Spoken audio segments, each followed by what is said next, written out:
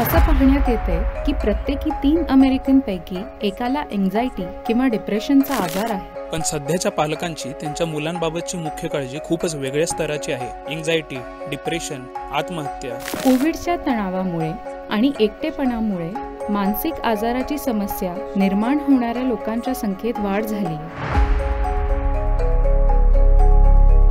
असा अंदाज आहे की दोन हजार पन्नास पर्यंत जगभरात फक्त अमेरिकेत नाही सबंध जगात. जवळपास तीस ते तेहतीस टक्के मानवी लोकसंख्या मानसिकदृष्ट्या आजारी असेल. दोन हजार पन्नास म्हणजे काही फार लांब नाही तेहतीस टक्के. याचा अर्थ तर तीन लोकांमधला एक गेला.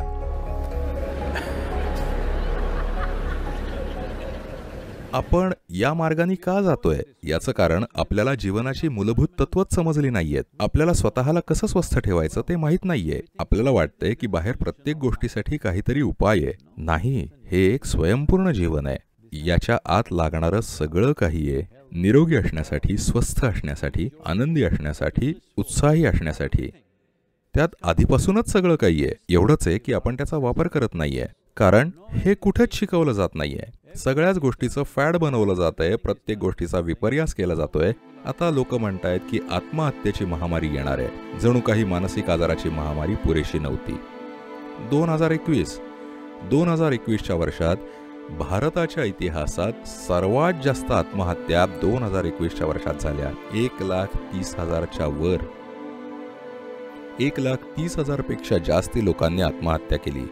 त्यातले अठरा हजार सहाशे अठरा वर्षांखालचे होते. सात हजार दोनशेपेक्षा जास्ती पंधरा वर्षाखालच्या मुलांनी आत्महत्या केली. बारा तेरा वर्षांच्या मुलामुलींना का आत्महत्या करावीशी वाटतेय? जेव्हा की तुम्ही जीवनाने भरभरून वाहत असलं पाहिजे.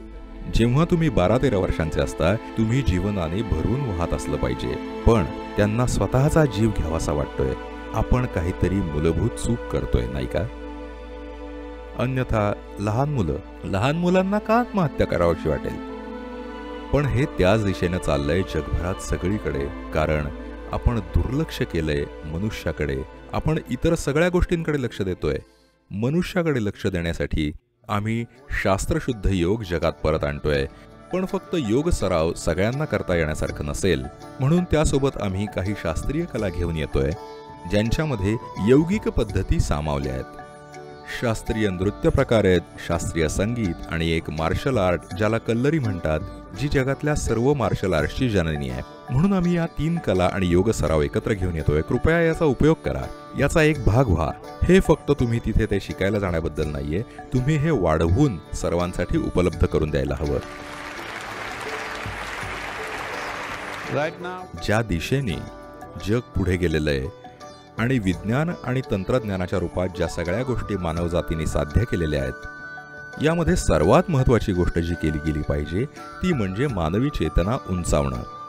विज्ञान आणि तंत्रज्ञानाची एवढी शक्ती हातात असताना जर आपण अजूनही जगात आसक्त प्रवृत्तींमधून कार्य करत असू तर आपण लवकरच एकमेकांना संपवून टाकू.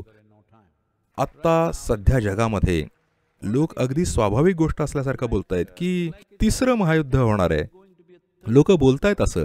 अगदी न्यूजमध्ये सुद्धा असं बोललं जातंय. हे म्हणजे जणू पहिलं महायुद्ध झालं दुसरं झालं म्हणून आता तिसरं झालं पाहिजे. वेळ लागलाय का आपल्याला? जर आपण तिसरं महायुद्ध होऊ दिलं तर आपण एक वेडपट पिढी आहोत हो की नाही? कारण ज्या प्रकारची शक्ती आपल्याकडे सध्या आहे जर आपण तसं काही केलं तर जे आपण स्वतःवर ओढवून घेऊ त्याबद्दल बोलणं सुद्धा शक्य नाही. म्हणूनच योगाची गरज आहे. योग म्हणजे शरीर वेगवेगळ्या प्रकारे वाकवणं नाही. योग म्हणजे आत वळणं. तुम्ही कोण आहात त्याचा स्रोत शोधणं.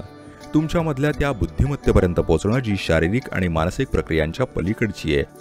हे घडायची गरज आहे शक्य तेवढ्या लोकांसोबत.